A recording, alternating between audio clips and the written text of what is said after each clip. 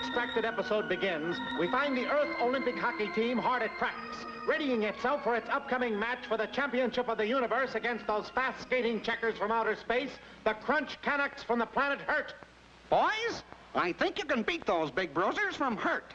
Now, I want you all to get a good night's sleep and be rested for the game tomorrow. Taking the coach at his word, the hockey team raced back to their hotel and, in a matter of seconds, fell fast asleep.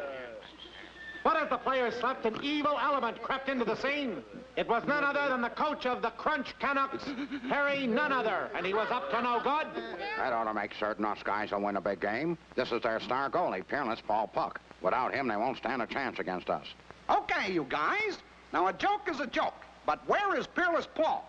What have you done with him? Honest, Coach, we didn't do nothing with him. He's just gone. He sure was, for at that very point in time, Peerless Paul Puck was really on ice. That should hold him. Nobody will find him in his deserted warehouse. Now let's get on to the game. This is going to put us at a definite disadvantage.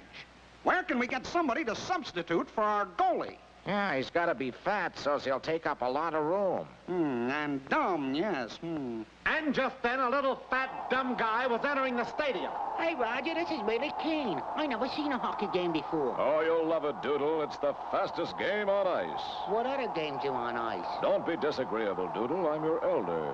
I think we found our answer, men. Hey, little fat kid, how much is two and two? Oh, me? A two and two. Let's see. The square root of the hypothesis is equal to the sum of the part of the... St I don't know. Good. A dumb fat kid. The coach knew when he had a good thing going, and he quickly outfitted Doodle and shoved him onto the ice toward the goal. Just stand there and don't let anybody put that little black thing in that net. Good evening, ladies and gentlemen. This is your play-by-play announcer, Vincent Yafnaro, about to bring you this thrilling hockey match between the Earth All-Stars and the Crunch Canucks. And there's the face-off. Here comes the Canucks power play. The Canucks center gets set to shoot. Wowee, what a shot. Then what a save by goalie Doodle. With timeout on the ice, the score is tied at zero for both teams each. Roger, I've got one thing to ask. How do I get out of this frozen outfit? These guys are gonna kill me. Nonsense, my boy. Get out there and show them the stuffings an American Eagle is made of. That I don't mind. I just don't want to get the stuffings all over the ice. All right, play has begun in the second period, and Doodle is sensational.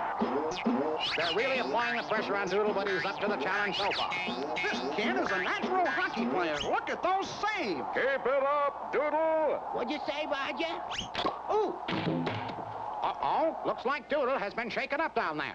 Are you all right, Doodle? no, I'm not. Look at that lump. Feels like an elephant's Adam's apple. And I'm dizzy, too. Let me out of here. You'll have to stand, boy. You're the only goaltender we've got. There are just seconds left to play in this hockey game, and it's still a scoreless tie. Somebody will have to score, or nobody will win. Uh-oh. Here comes the Canucks' great scorer, Harry Highstick, and he's alone on Doodle. This could be the game. He shoots. Ooh. Ladies and gentlemen, Doodle has scored a goal with his stomach.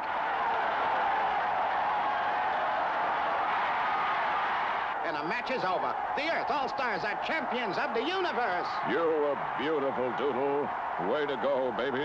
Thanks, Roger. It's nothing any talented All-American couldn't have performed as adequately. Oh! Ah! And so, again, a near disaster has been averted, thanks to Doodle and his big, fat tummy.